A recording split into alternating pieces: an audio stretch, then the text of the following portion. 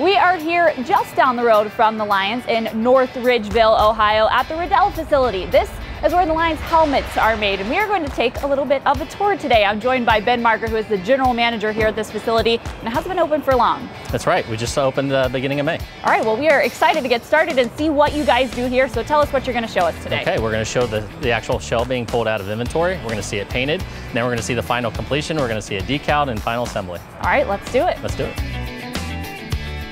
So the process starts back here in the inventory workhouse. So what do we start with here? All right.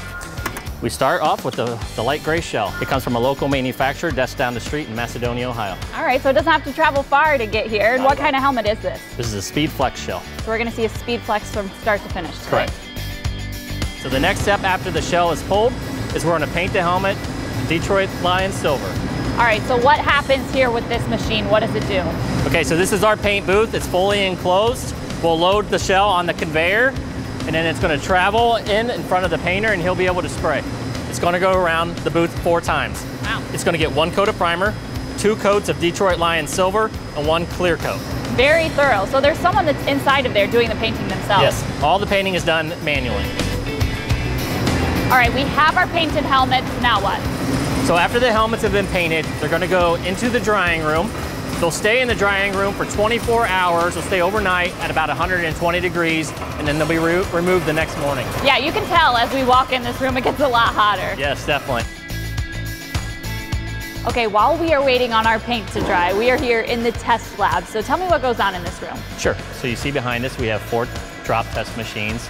And what they're doing here is they're measuring the impact of the velocity of the drop.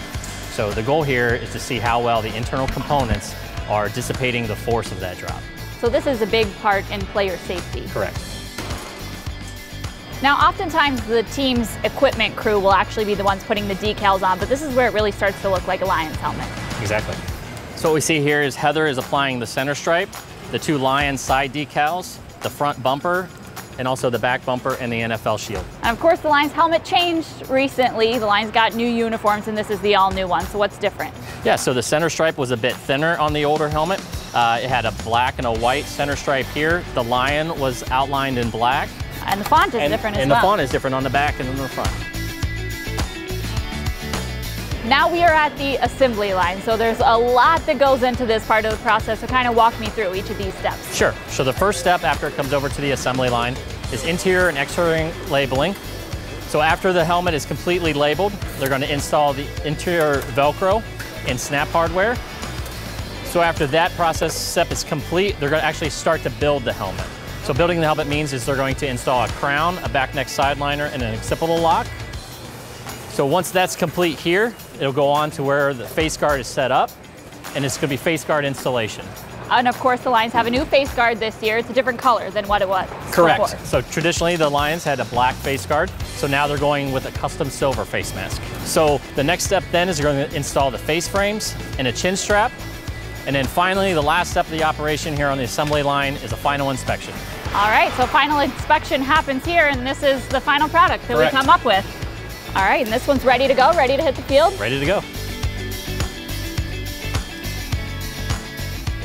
Ben, we've seen this helmet from start to finish. Now it's ready to make its way back to Detroit. So how does it do that? Right, so after the helmet comes off the assembly line, it's gonna come over here to our shipping department.